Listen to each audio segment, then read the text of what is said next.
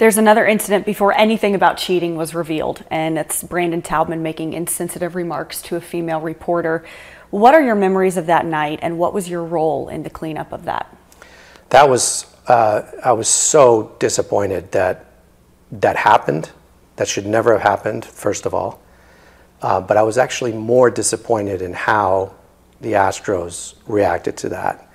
Um, the night that the organization found out that this was going to be a story, um, there were several people actively conversing about what to do about it. Mm-hmm. Now, you know, you probably know this as a reporter, but as a general manager, I don't write press releases.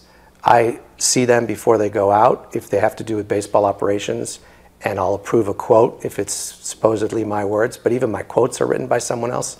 Um, this particular response was uh, crafted, edited, uh, and written by the person that runs the legal operation for the Astros and the person that runs the marketing and PR for the Astros. Those two wrote it, edited it, and sent it out. Now, they did syndicate it. When I say syndicate it, there were other people copied on the email traffic that evening. Nobody, nobody said, don't send this out. I should have said that. And I feel bad that I didn't because my gut was telling me this was probably not the right reaction. Uh, even though everybody in that group believed that the, um, the incident was innocent, which it turned out not to be, um, it still didn't feel like the right reaction because it was so aggressive. I, uh, at one point, I um, objected to it, not as vociferously as I wish I would have. Um, my objection was ignored, and 20 minutes later, the response was sent out. It was very clear immediately after the response was sent out that it was horrifically wrong, and it made us look terrible. Um, nobody wanted to take responsibility for that response.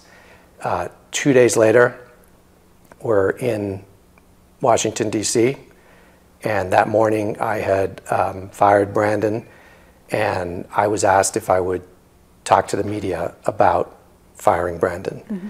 I agreed to do it. Nobody else was willing to do it. Um, about 20 seconds before I walked into a room filled with baseball reporters who were all looking to attack somebody, um, I was instructed by one of the people that wrote the response not to disclose who wrote it and to make everybody understand that it was an Astros response, but not to talk about the people who were involved. I followed those instructions. I sat there for 20 minutes and was attacked by every media outlet in the country. And I know I didn't handle it as well as I could have.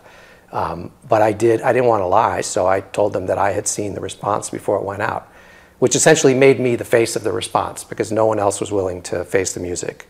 When that uh, interview was over, I received a text message from the other person who had been involved in writing it and crafting it, thanking me for taking one for the team. Um, I shouldn't have taken one for the team. I didn't write that response. It was a horrible response. Should never have happened.